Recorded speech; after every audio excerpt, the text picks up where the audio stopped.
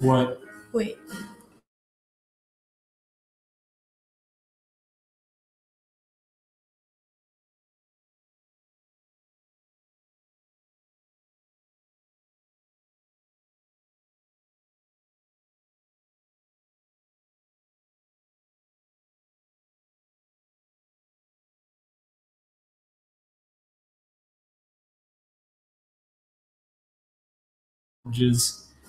Uh, but maybe I should just make a cocktail, and then we can talk some more about that in a minute. Yeah. While I make the cocktail.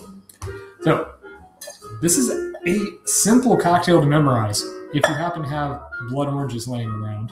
Now, uh, blood oranges are going out of season in Texas, so you're going to uh, laugh at me trying to squeeze any juice out of these things.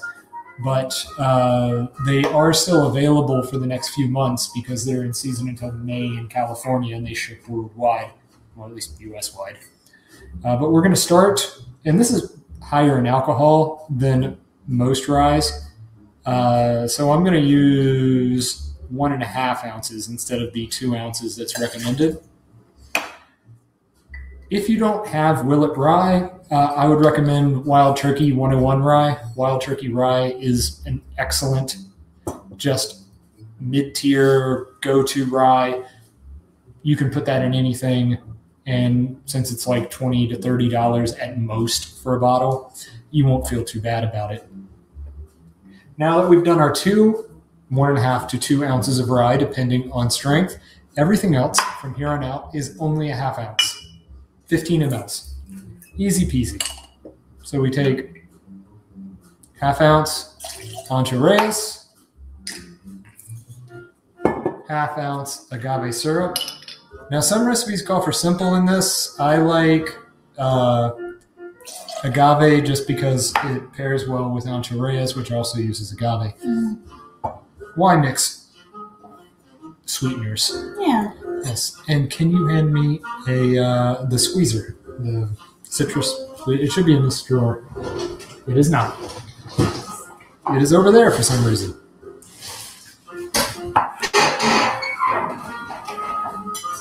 Oh, yes. Thank you. Okay. Can I talk about what's going to happen this Friday? Oh, yes, yes. Okay, because that's why everything's out of place because we just Yeah. cleaned up a whole lot for a thing. Volta, talk about what's happening this Friday. I'm going to be on Chef Nikki's show, uh, Thai Takeover. Uh, so it's a it's a series on YouTube. If you want to check it out, um, Chef Nikki is the owner of Asian Mint in Dallas. Uh, so she'll come over and like based on what kind of ingredients I have on hand in the fridge or in the pantry, um, things that aren't booze because we do have quite a few bottles. Oh god, she's gonna judge us so hard when she opens up the pantry. but I'm super excited, um, excited to learn and, and see like what kind of delicious food she comes up with. So yeah, that'll that'll air in a couple of weeks, uh, but we're we're doing the recording on Friday. Yes, and I'm sure that uh, her YouTube channel will be in the uh, Yes, the comments of this. yeah, I'll be sure to, to share that. Yes, I'm. Oh, I'm look at this blood orange! Wow. Yeah, so blood orange has a unusual pigment that's not often found in citrus, more often found in flowers and things like raspberries. Oh, Uh, you know, you know, it's funny reading the Wikipedia entry on this, trying to find some blood orange facts. Not that often. There's not that many blood orange facts. Interestingly enough, uh, they said it tastes like raspberries. I taste no raspberry. I've got a weird palate. yeah. I do not taste raspberry at all in a blood orange. I taste Campari, Mm, which I think is what Campari is made with. yeah. But I guess, yeah, sure. Call me a lush. But now I'm going to take this very dry blood orange and try to squeeze some juice out of it. But we're trying to get around a half ounce to an ounce. Mm. Yeah, David, food. I, I I have the same feeling. I'm looking forward to some of that later too. Uh, and hi, Beck. Hey, Hi. Okay. Oh my gosh, there's nothing in this. I'm glad that I have. No, there is. It's coming out. I'm glad that I have an extra. this is So these are a little difficult to juice. it's because I need a couple of these. Uh, yeah, blood those are just oranges. dried out. Wait, did you get? Um, have some fresher ones. Well, I wanted to use the the older ones for this. Oh, I've got an extra one here. Okay. That was one of the fresher ones. all It's right. my backup orange. Well, I'm just trying to help you out here. Well, now we have three oranges, just in case. Ah, this one's working better. It must have all all the liquid pooled up on one side. Yeah. Ah. Okay, we're gonna get another orange. This one? I got this yeah. guy too. Okay. Why not? Where'd my knife go? Yes. Uh, now, Oh, that one smells really good. Mm, okay, that's a yeah. fresher one. if you so if you if you don't know when you're shopping for fruit, uh, there's a there's a tip that a lot of us millennials didn't learn because I don't know we, we don't shop for fruit that much. Uh, if you you want to feel the fruit, you want to pick it up, and it should feel heavier than you think it feel than it think you think it should feel. Like, wow, this should feel like if it feels like a tennis ball or it feels like hollow inside, then that fruit is dried out. It's been sitting on that shelf for a while. Nothing in that. Uh, and you should get a different one. Yeah, for some reason, we just skip that chapter of development, learning how to pick fresh fruit. I mean, why should we? It's always available. We can get fruit from the store. And also, typically, why would a store not have fresh fruit out? Don't make me do your job for you, store. Wow. Yeah, I'm being Dan a Karen has about that. opinions about shopping for fruit, apparently. Just saying, like, like, how dare you? All right. First of all, Well, this one smells really good. Yes, let me clean all that. Yeah, blood orange juice. It is blood red, so it will stain a bit. So Mhm. I'm being careful. That's why I stepped away for a bit. Yeah. Now, pardon me, I'm going to get some ice on here. We're going to just shake this up and then strain it into that Oh, yeah. glass. this glass. So the rosemary is not required, but it's really fun. You know, fun, fun garnish. You could also swap it out for like sage or some other green thing. Yes. Did we do a full circle? Yeah, we did. Okay. hmm All right. Yeah. Thank you, David. I I agree. It is a great tip. we we just don't know how to shop anymore. I don't think I ever did. What do you do? And when I'm shaking this, I'm I'm just beating the crap out of it. I'm not trying to do any nuance on the shape. I want to get some little ice pellets. And I want to make this really cold. I want to whip up a lot of a lot of air into it. So that's why it's not the subtle shape. So if you do like a martini shape where you're just trying to do that quietness, Mhm. I don't know. I don't know why I got it in my my head thinking about it the other day. Oh, it's because I made a martini Yeah. yesterday. Yeah. So you'll see people like try to make as much noise as they possibly can when they make a martini. That's incorrect. That is incorrect. This is what an actual martini is supposed to sound like. Maybe we can do a martini episode. I would love to do a Not a boring episode. martini, like a fun one, like with pretty colors or something. A martini is a cocktail. is is gin with a little vermouth and either a lemon or it's not very olive. fun to paint. Just because it's in a martini glass doesn't make it a martini. Okay, fine. Well, this smells amazing. Yes, we will do. We will do a two like a, a martini two ways. I guess we'll do. yeah. We'll do the Dan version, The boring version and the fun way. which is way. which is vodka or gin. I, I waffle on those two, Uh-huh. or it is whatever like a So you're not a purist then. not a purist. I'm just okay. We got to do this guy. Let's hold him up. Oh, he doesn't want to stand up like the other guy did. Oh, it's okay. It's not. It's not big enough. Well, we'll still just stick that whole wedge Yeah. in there. All right, because Yeah. we just want to pour it over the orange, and then we just pour that beautiful orange, blood orange color in, right to the top, and then there you have it. So nice. a hot blooded cocktail. Uh, some recipes that I've seen include hot sauce. I see no reason to do that. Between the spiciness of the rye and the I'll let you take really spiciness of Ancho Reyes, I have a little technical difficulty with the garnish. ooh, that is good. That is very good. Let's see. That ancho chili, which if you did not know, is the dried version Ooh. of a poblano. bean. Yeah. Oh my gosh. Oh, that's right. So it is like pepper based. Yeah, There's a little bit of heat, and it's it's very nice. yeah. Like it'd make little. for a great brunch cocktail, I think. Mm-hmm. Yeah, they say to put it in a Mm. Nick and Nora or a coupe glass, but I like this little guy. Yeah. Fits the uh, the orange wedge better. Mm-hmm.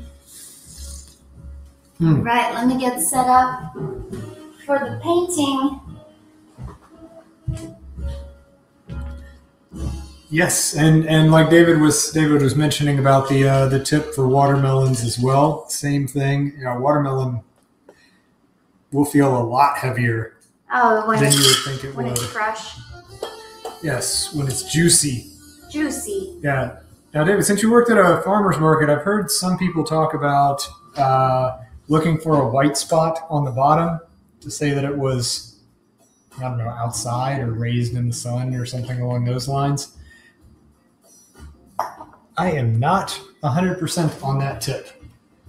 Seems ra- rational. At least that they left it out in the field long enough for it to ripen. Can you add me to the stream, please? Oh yeah, help. No, and Becca Manning is saying for the first time in my life I live near a farmer's market. Oh, that's awesome! You're so lucky. Yes, I had. Becca, you're so lucky. Yes, I had a similar experience when. Where are we going? What are we doing with this? I'm moving here. This can add the stream, and then I remove this one from stream, Mm-hmm. and I switch over to this guy, and I move this one over here. Look at that. You got it. All right, so now on to the fun part. Um, I'm- I'm getting confirmation from both Becca and David that the, uh, the, the fail spot on the bottom is a good sign for watermelon. Oh, okay. Good to know. I'm excited for watermelon season. I think that's like August or something, July, August. Yeah, I have no idea. No idea what watermelon is. I know it's rhubarb season. Oh, yeah. I have no idea where to get rhubarb. If anybody knows where to get rhubarb in Dallas, please let me know because I can't find it anywhere. All right, so let's get started with uh, the watercolor painting. So this is a fun little little chalice, a little glass, and if you notice, like uh, the shape of it is kind of like a curved line, but it's a little bit wider at the top, so it's like gonna kind of increase the width here and then kind of decrease a little bit further down.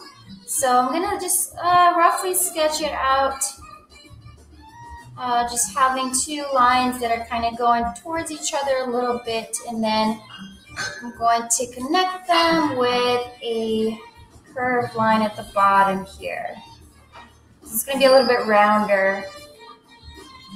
And then I'm going to go ahead and like sketch out an oval shape uh, right here to like show the surface of the glass. Just to kind of help me work with this shape a little bit and then before I finish this off I will do my half of a uh, orange slice and that's just going to be half like a half circle shape. And then I'm going to erase this extra line since you technically won't be able to see it in the glass. It's behind the orange slice All right. All right, just, uh, just as an FYI, Volta, I'm Yeah. getting that, uh, that Whole Foods, Uh huh. Rebecca saying Whole Foods has uh, rhubarb, so I'm going to be checking that one out. Oh, thank you. Whole Foods. Delphine is also asking about rhubarb, and apparently, yes, Delphine, yeah, Becca's saying that Whole Foods. Oh, no, that's, that's Twee. Sorry, I thought that was Becca. That was Twee. Chef Twee, thank you for letting me know that Whole Foods has. Uh, Rhubarb. Rhubarb. Yeah, we'll have to check it out. Thank you. and uh, and David is saying that uh, July is best for watermelon. Ah, nice. Thank you for that uh, pro tip. Yeah, we got an insider having worked at farmers markets. All right, so for this, um, the orange wedge, I'm just gonna bring this in a little bit closer. Uh, I'm gonna do these little uh, slices, which are like the, the pulp, and they're essentially like little little triangles, if you think of them like little pizza slices that go around. Whichever resonates with you, pizza slices or triangles, you know.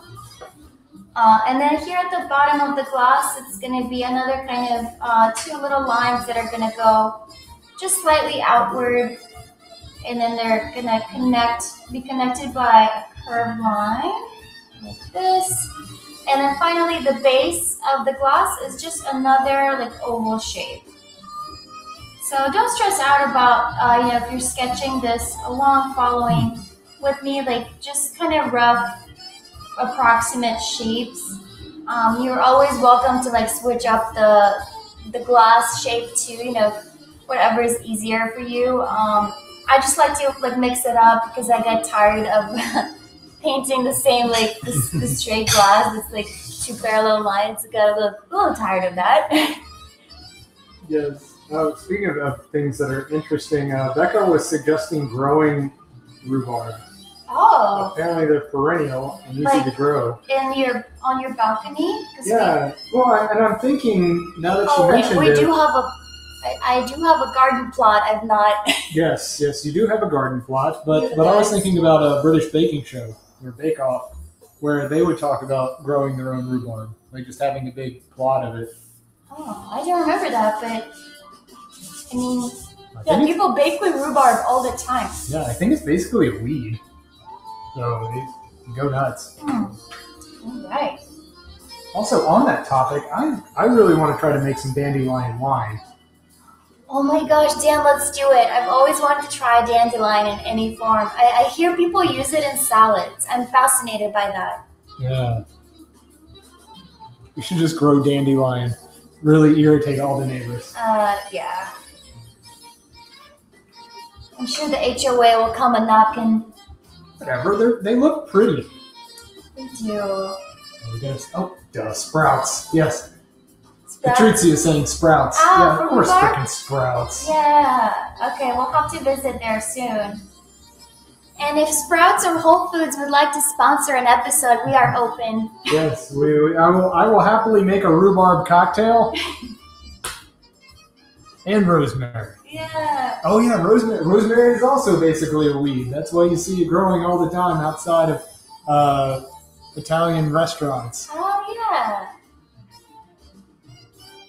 All right. Well, back to the painting. No, yes, yes. Uh, I just pre-mixed. Um, I, I basically like went into my palette and I have a couple of different reds. Like some are warmer, some are a little cooler, and I just I just like to mix them all together to get like a kind of in between red, and it just makes it more fun. And you get to like mix it up a little bit. Uh, and I'm just gonna use kind of like this this mix of red to paint inside or like the top portion, but also inside of the glass. So I'm just painting on dry paper. I didn't add any water because I want to retain control over this area. So just filling up this shape with this red. And as you notice, I left a little bit like a unpainted edge of the glass.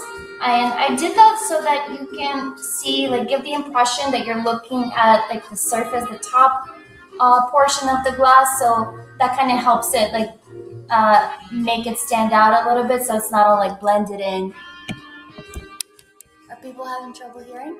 No, no one's saying anything. Okay. but I don't want them to not be able to hear you. Oh, well, so I'm thank you. adjusting the microphone. Well, thank you, Dan. Yes. Um, Oh, on that on that note, since I, I have the stage for Uh-huh, a moment, have we got stage. Patrizia saying that, that Lowe's has rhubarb seedling.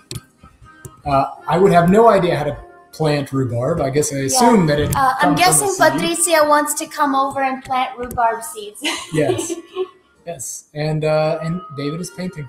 So we have participants. awesome, awesome. So uh, next up is going to be our highlights. So before this completely dries, I'm going to clean off my brush, and I'm going to just kind of lift off some color. So I'm, I'm like dragging my brush, and then I'm wiping it on this towel.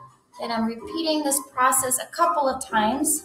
So essentially, you want to do that like wiping it off is very central because otherwise you'd be reintroducing that color back in there. And now that I have a nice highlight, so I guess to explain, you know, the highlight is like the light source hitting the glass, and it's just a small element, a small, like very quick technique that you can do to uh, bring more dimension to whatever shape you're sketching. Uh, and for this, the cocktail itself, I'm gonna add a touch more red, just so that it has a little bit because it's dried out for me and, and I think it looks a little too light so I want to punch up the color so I'm just grabbing some red and dropping it on the opposite side of the highlight because I want want the highlight to still be visible so I'm not painting on top there.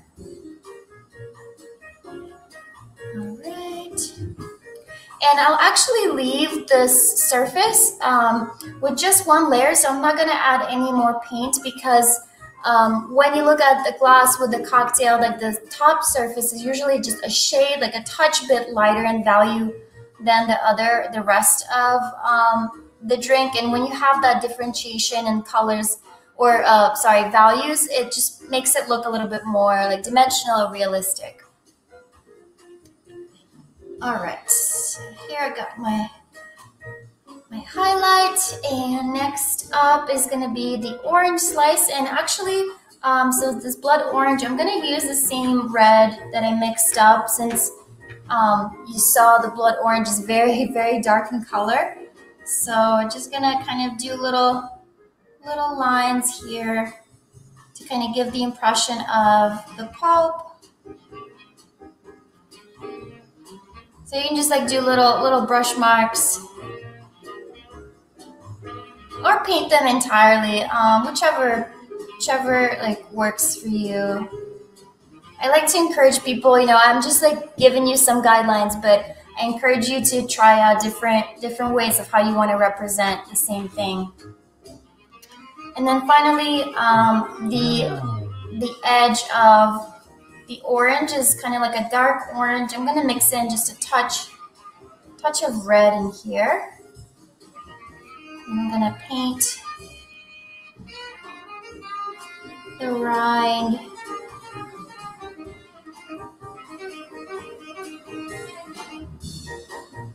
There we go. And I will leave this, um, the area in between like these little, the pulp and the rind, um, I'll leave it unpainted just because it'll, it'll look better that way. Um, let's see, next up is our rosemary, and for that, I'm just gonna grab a little bit of green from my palette. Oh, uh, I was just I was just looking up how to actually plant rhubarb Oh, uh, on the uh, seedlings. Apparently, the seedlings take years to grow, but you can buy crowns of rhubarb, and they will just grow for years. well then let's get some crowns. Yes. Uh, also, uh, we've got some questions here from David about uh, masking, frisket, all that stuff. Oh, Which yes. is funny because on one of our very first streams, like years ago, I think it was Pat that was asking about Yes. frisket. It was Pat. Thank you, Pat, and thank you, David. So, uh, on the subject of frisket, I will say that I quite hate it. Um, it is, I absolutely try to avoid it only because I've just always have had trouble with using it. Like, frisket is, uh, for those that are not familiar, it's it's like this medium that you you paint it on a surface and it protects your paper from paint getting in there. So like you can erase it essentially and like leave that area blank or or like the paper color. Um, I have always had trouble like whenever I erase, I usually like will tear up the paper or honestly I just quite hate Frisket. Mm-hmm. And also, oh my god, Frisket also dries up. So you buy a bottle, you use it once, and then like three months later, you remember you have this Frisket and you're like, oh, maybe I should try this again. And guess what? It's completely dried up, so you can't use it again. anyway, um, thanks for coming to my Frisket TED Talk, but that's how I feel about it. Oh, uh, well, very awkward segue on that. But anybody else that's in the Dallas Plano area that wants to go to the TEDx conference in uh, Plano, Yeah, uh, Saturday? TEDx Plano. Yeah. yes, if you are going, please say hello to Volta. She'll be there. Yeah, I'll be there. I um just FYI, I'm not speaking or presenting. I'm just going for Yeah. like fun to see to see what it's like. Yes. Oh yeah, and, and, and yeah, dude. It's funny that they uh, that most people associate uh, masking with Photoshop, but the mask itself was from the Frisket terminology, I believe. that Ah, was used in Photoshop. wow. That's where it was adopted. Well, thank you for sharing that. Uh, and on to the very last portion of the painting is adding or painting the glass here at the bottom. So I'm using this uh, kind of periwinkle blue. It's a very light, very nice blue actually, but it is a premix color by Daniel Smith, not affiliated with my husband Daniel Smith. Who would have thought that multiple people would have that name? Yeah, but also watercolor brand, a very very good one actually. Um, so I just like really like to play up with different like blues or grays for my shadows or or any areas that are um, designated as glass. So I'm just gonna use this a little bit. Like I diluted, I'm diluting it with water, so it's gonna be fairly light. And then I'm just going to kind of outline these lines and just paint along the lines here. I'll add a little bit more paint on the right hand side because I have, you know, my light source is coming from the left, so there's like a little bit of a lighter portion here, and then this side is going to be a, a touch darker.